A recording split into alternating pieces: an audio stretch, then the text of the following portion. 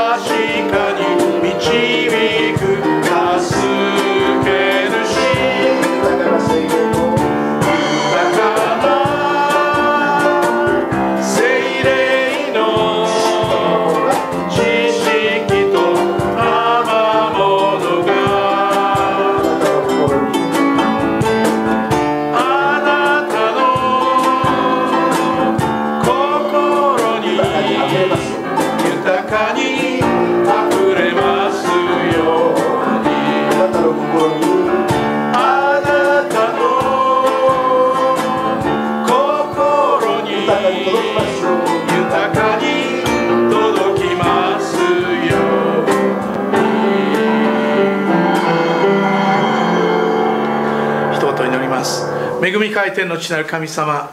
今日もこうして私たちをここに集めてくださって共に礼拝を捧げることができることを感謝します。心いっぱい賛美を捧げ心を開いてあなたに向かって祈り求めまたあなたからの御言葉を養いの言葉としてしっかり受け止むこと受け止めることができるようにこの礼拝を初めから終わりまでお導きください。さまざまな事情や都合で礼拝に参加することができない方々がたくさんいらっしゃいますけれども主よどうぞそういう方々の上にあなたの守りがあるいは恵みが豊かにありますように。主よどうぞあなたが礼拝の民をお支えくださいますように心からお願いします。またどうぞこの国を憐れみこの国の為政者たちの判断が本当にあなたの心にかなうものとなりますように。主よまたどうぞお茶の水クリスチャンセンターの働きあるいは東京プレアセンターの働きがあなたによって整えられ用いられますように。主よさまざまな出来事を通してあなたの愛と真理とが前面に語られあるいは分かち合われあなたの福音がしっかりと心を捉えるまでに主よその働きが広がっていくようにお導きください。この礼拝を初めから終わりまであなたが共にいてお支えくださいますように。そしてまた私たちの礼拝を受け取ってくださいますように。主イエス・キリストの皆によってお祈りします。アメン。約束を心にという歌を取りましょう、えー、御言葉の約束を心に握りしめ愛と希望を抱いて今日も進み込む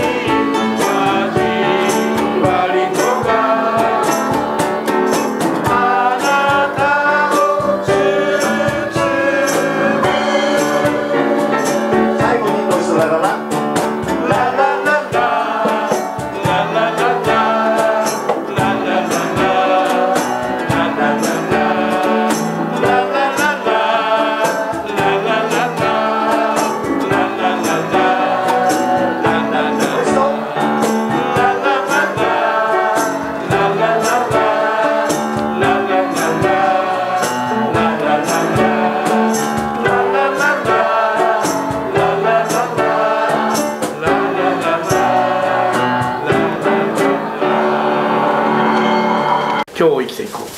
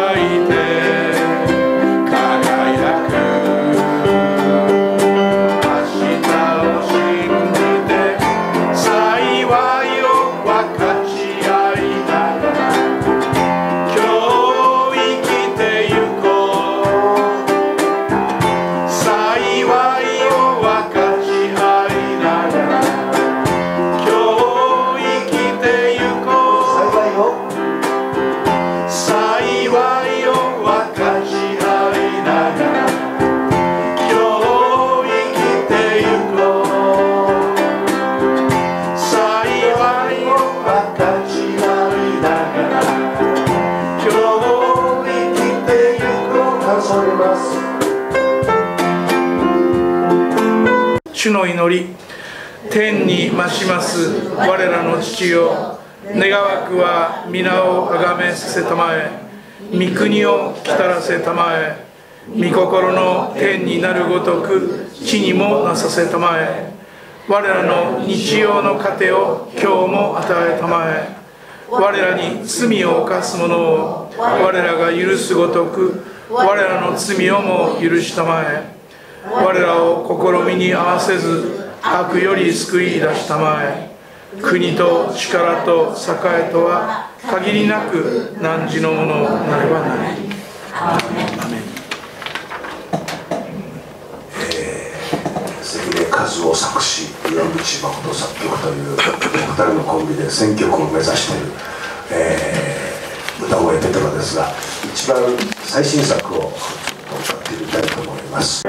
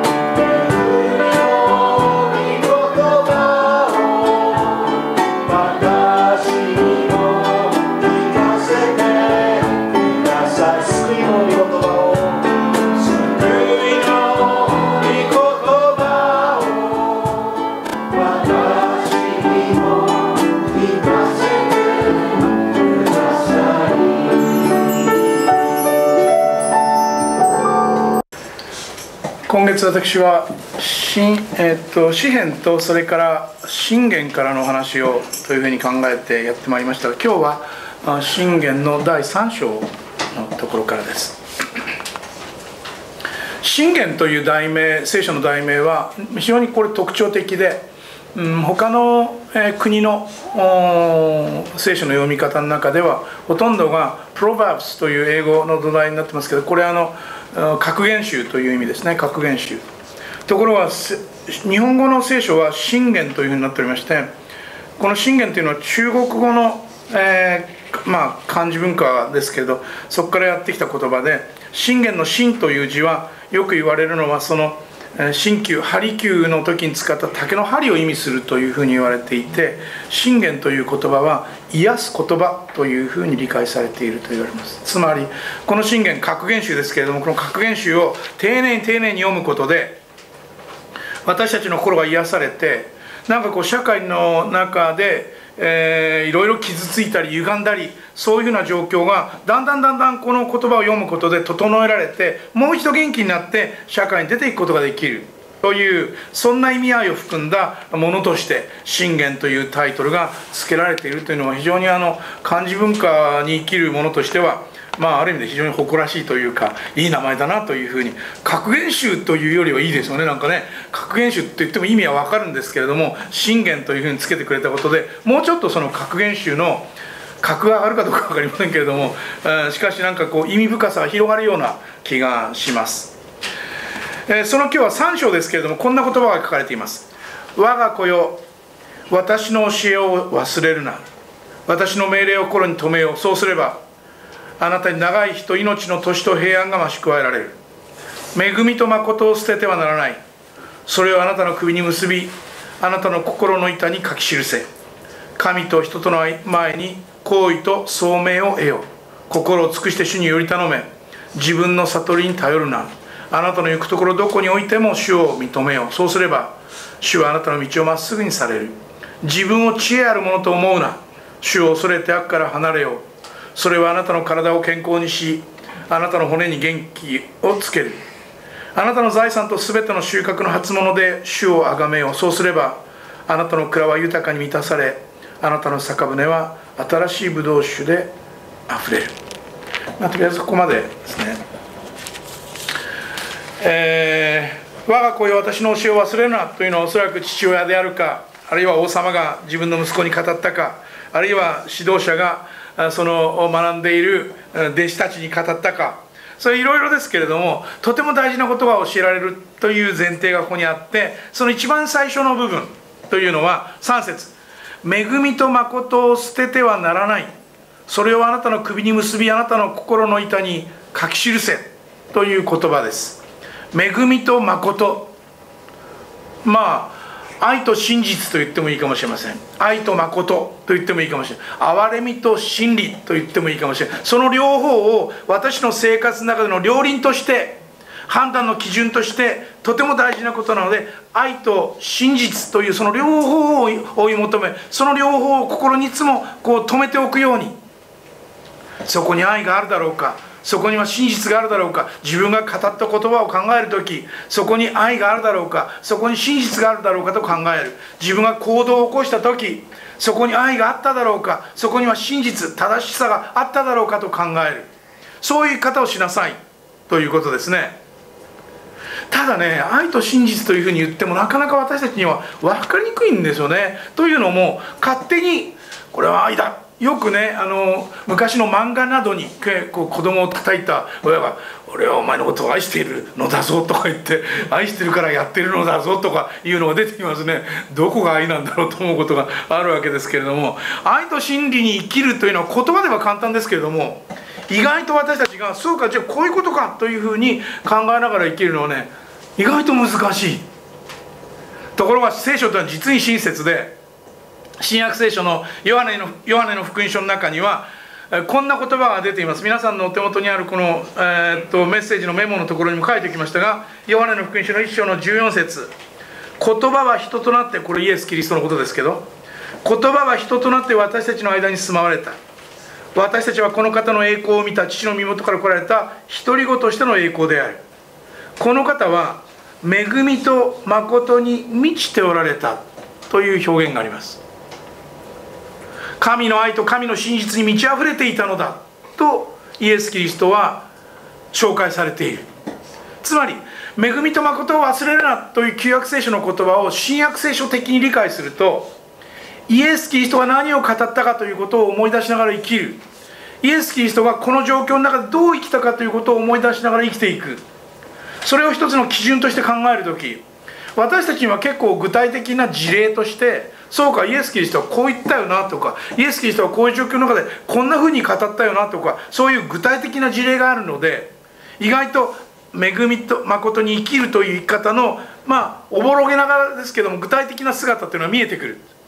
イエス・キリストが生きたように生きる。イエス・キリストが語った言葉を土台に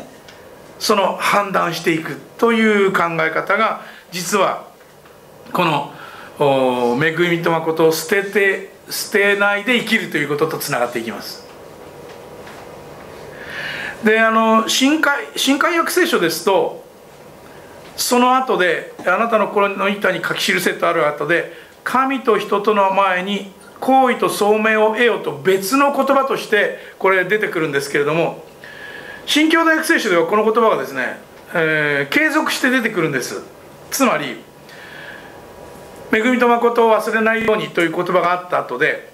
そうすればってあの新教大学聖書では続くんですね。そうすれば神と人の目に好意を得成功するであろう、ね、あなたの人生の中で本気になって毎日毎日の生活の中で恵みと誠という出来事を忘れずに生きていく時キリストは何を語ったのかキリストは何をやったのかそしてそのキリストと私が心を合わせて生きようと思う時どういう結論になるのかどういう言葉になるべきなのかどういう行動になるべきなのかそういうことを丁寧に考えていく時その生き方の中できっと神と人の目に好意を得る。そしてうまくいくと聖書を言うんですね。そうか。キリストを心に留めてキリストにこだわりながら生きていくということが聖書が教えている人間らしい生き方なのだなということが分かります。さらにこの信玄を読み続けていきますとこんな風に続きます。あなたの行くところどこにおいても主を認めよそうすれば主はあなたの道をまっすぐにされる。どこに行ってもあの詩篇の時に言いましたね。主を認めるというのは私がここにいるのは私が単独でいるのではなく主が私と一緒にいて主が私をここに使わし主が私をここに置いてくれたのだと信じて生きていきなさい。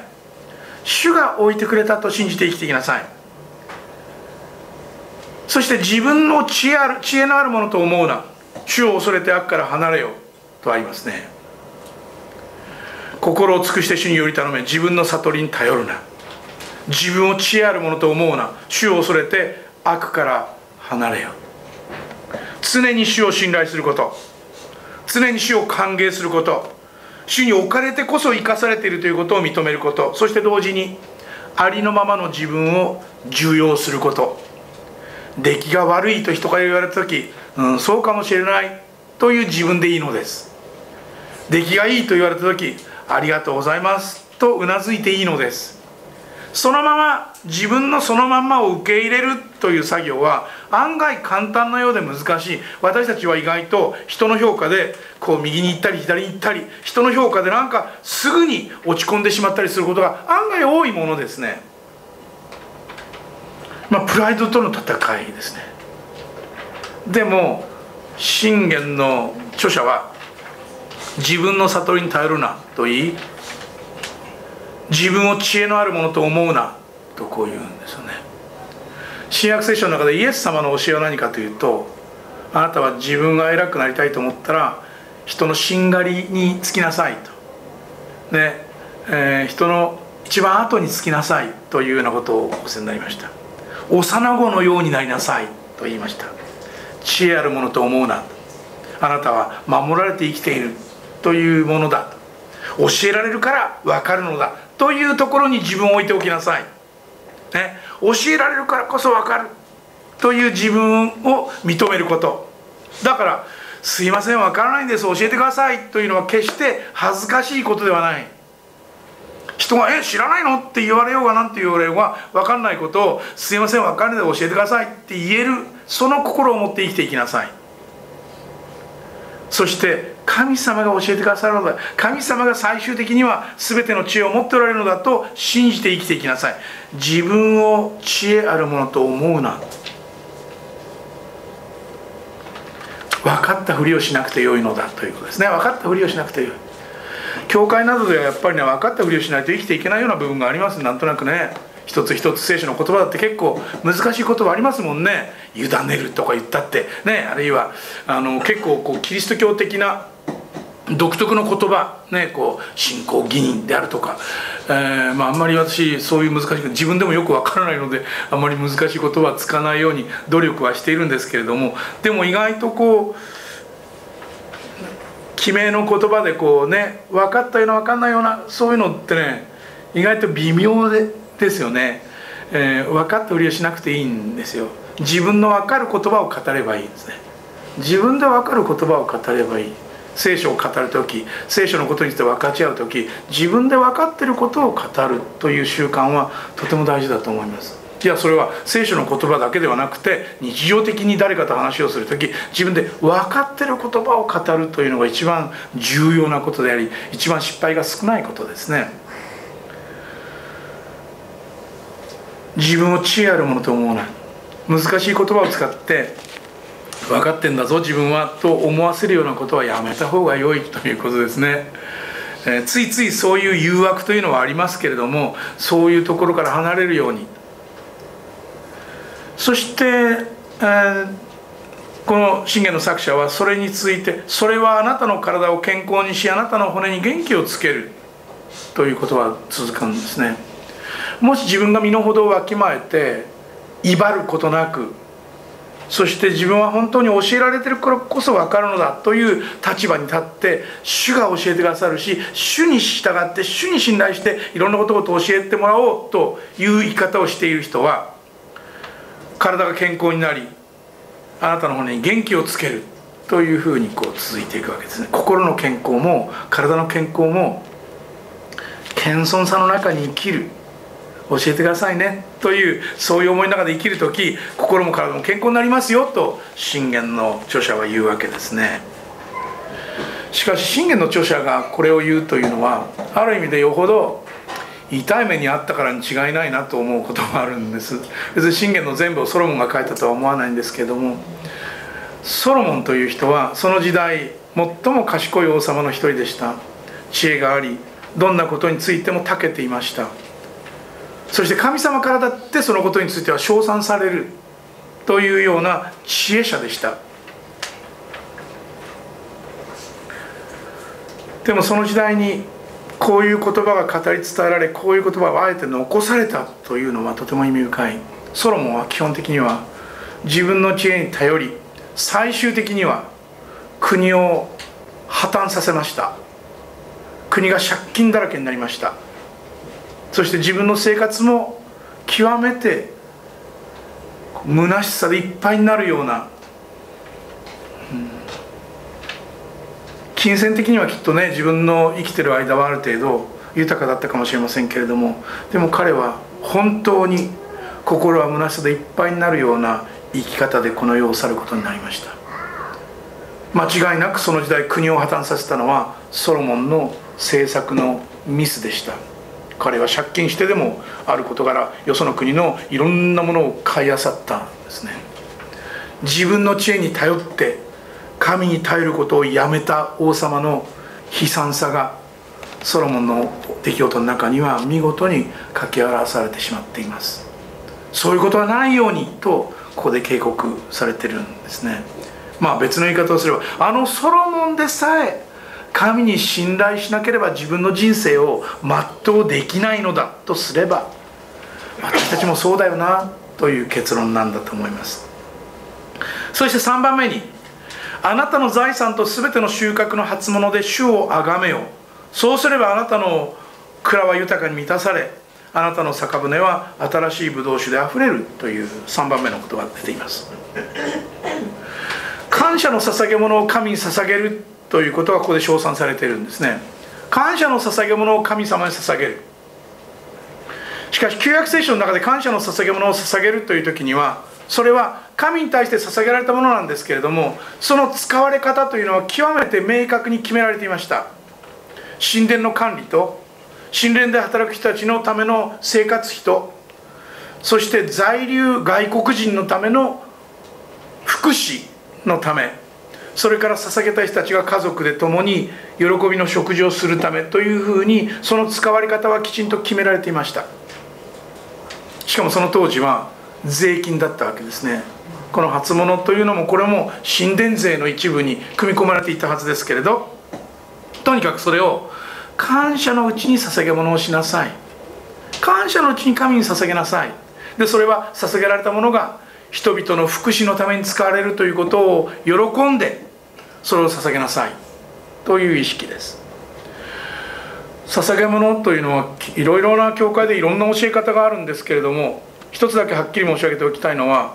この後でもねあのそうすればあなたの蔵は豊かに満たされあなたの酒舟は新しいブドウ酒で満たされるというかそうか分かった。じゃあ要するに献金というのは投資だなと思ってね。じゃあ皆さん今月は5000円入れますので来月までにはなんとか1万円ね1万円くださいねとか言って5000円捧げてですよ。で一生懸命言って5000円も捧げたんですが神様なんとか1万円儲けさせてくださいって言って1万円儲かんなくてがっかりしてもう女捧げ物なんかするなもうする気にならない。これねあの明らかに聖書が教えている捧げ物の基準とは違うんですね。献金は投資じゃないんですよ。5000円捧げたからといって1万円になって帰ってこないんです残念ながら。うん。そうだったら簡単ですよね本当に。そうだったらね。でもねそういうふうには献金を教えられていないのです。基本的には神への感謝の捧げ物であり他者を祝福するという心がそこで試されている。と言ってもいい。私が持っているもので神に感謝を捧げそれらのものを通して他の人々が祝福を受け取る。ということについてよかったなと思える心が育つように。という意味ですね。私が神に捧げその捧げ物が他の人々のところで豊かに用いられて貧しい人たちが主に仕える人々がそれによって養われる。それを良かったなと思える心が広がっていったら私たちは自分さえ良ければよいという心ではなく他者の祝福を願いながら生きていくということができるようになるので祝福は回ってきますよということなんです。私たちの祝福というのはいろんなものを手に入れて自分のために入れ手に入れて自分だけのために手に入れてという、まあ、それがなんとなくこうリッチなそれがなんか成功の物語のようにあの書かれたりすることがありますけれども聖書が教える成功というのはもちろん自分の自分がリッチになるということはもちろんそれはそれで素晴らしいことなんですけれどもそれを神と人との祝福のために分かち合うということができた時その豊かな心は広げられるのだ。リッチな心がもっと豊かになるのだ。他者と祝福を分かち合うことができた時その祝福は間違いなく倍化する。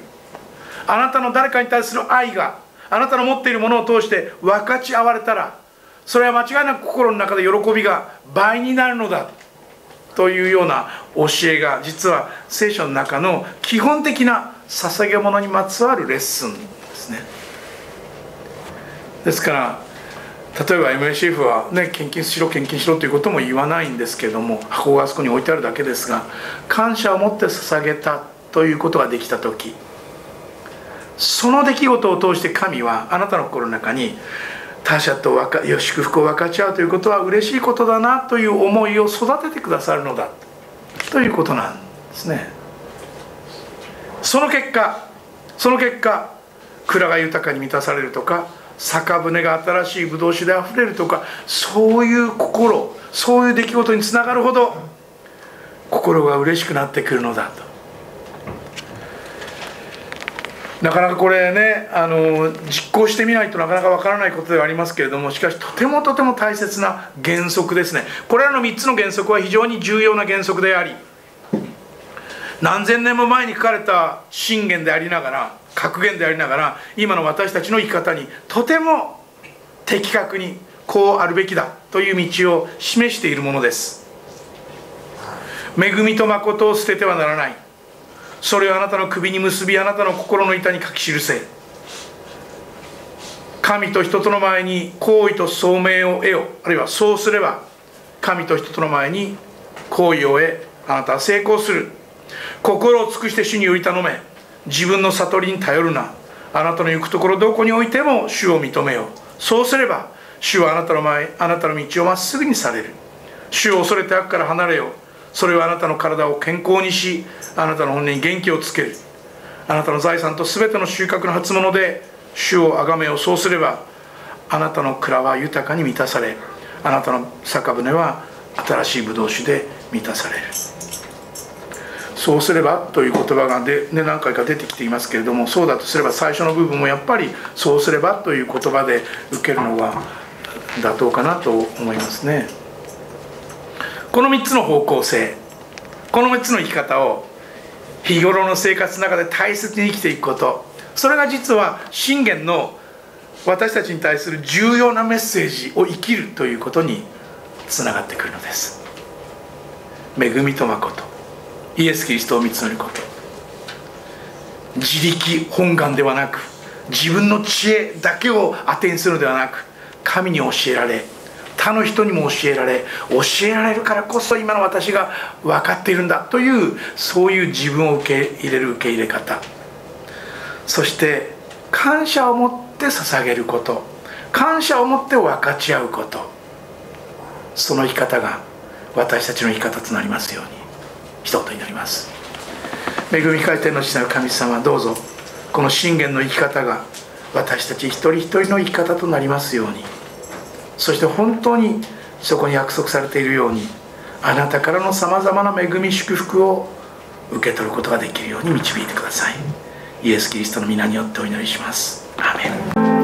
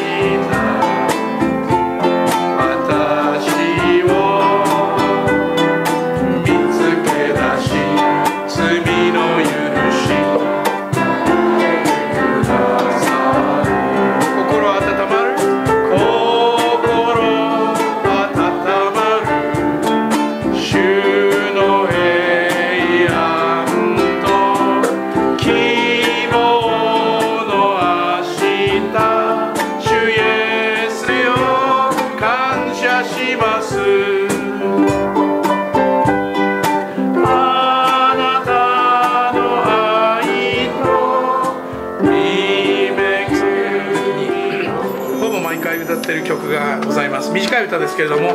とても大切な歌だと考えています。キリストの平和一緒に歌いましょう。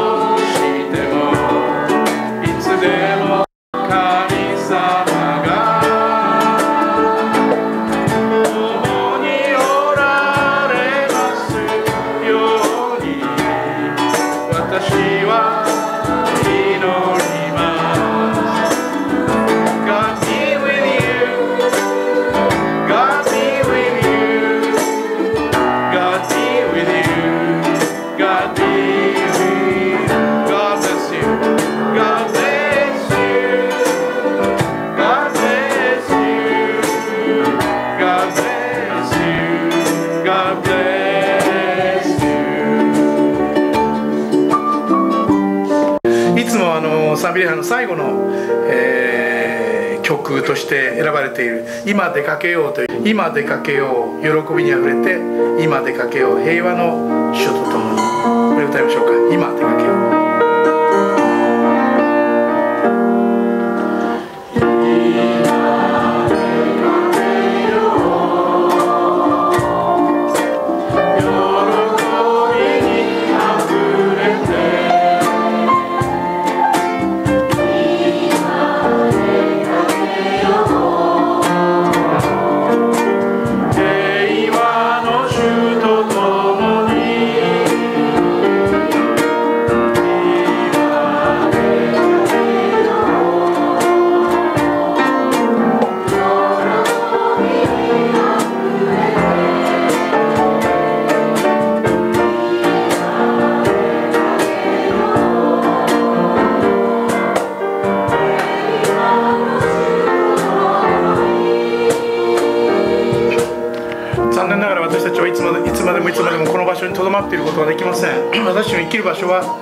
庭の中でありあるいは職場であり学校でありあるいは友人たちとの関わり合いの中ですね。それぞれの状況の中にイエス・キリストは共にいてくださいます。イエス・キリストによる愛と恵みをしっかり受け止み受け取りながらイエス・キリストを心に歓迎しながら